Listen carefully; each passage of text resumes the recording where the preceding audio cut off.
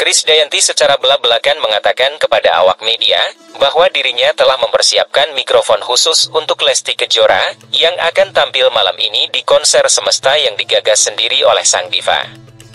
Menurut Krisdayanti, hal tersebut dilakukan sebagai bentuk rasa bahagianya karena Lesti Kejora berkesempatan hadir sebagai bintang tamu spesial di konser tersebut.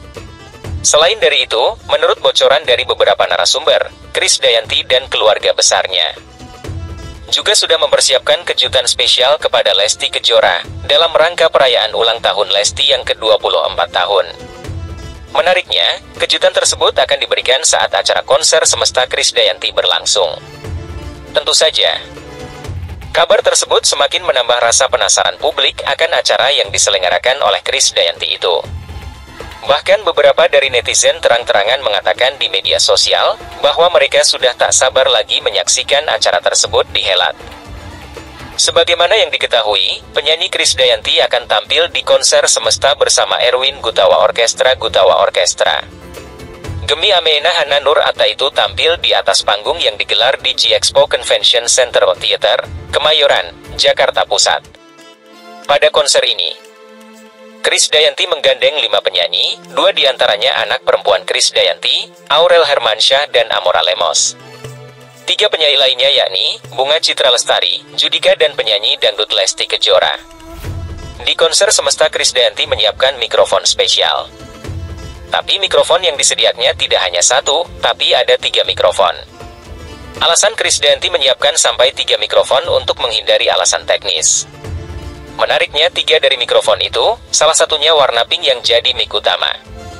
Sedangkan dua cadangan. Dapatkan tiga mikrofon itu tidaklah mudah, Krisdayanti harus order terlebih dahulu sampai tiga bulan. Sungguh perjuangan yang luar biasa. Memang udah begitu dari sananya. Karena mic ini kan harus pre-order kadang ngantri. Jadi masih nunggu kayak tiga bulan, ucapnya.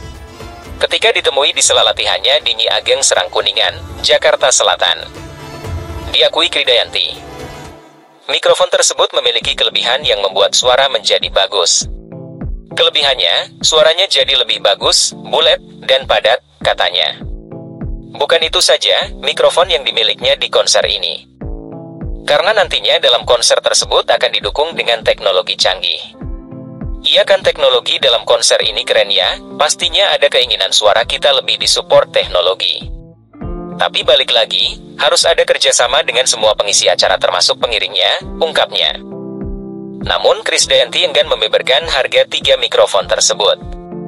Selain itu, jelang konser Krisdayanti, sang kakak, Yuni Sara turut antusias. Selain menghadiri geladi resik, Yuni turut memberikan dukungan dan doa, semoga diberikan kemudahan. Kelancaran dan kebahagiaan dalam menjalankan ikhtiarmu di konser semesta 5 Agustus 23, tulis Yunisara.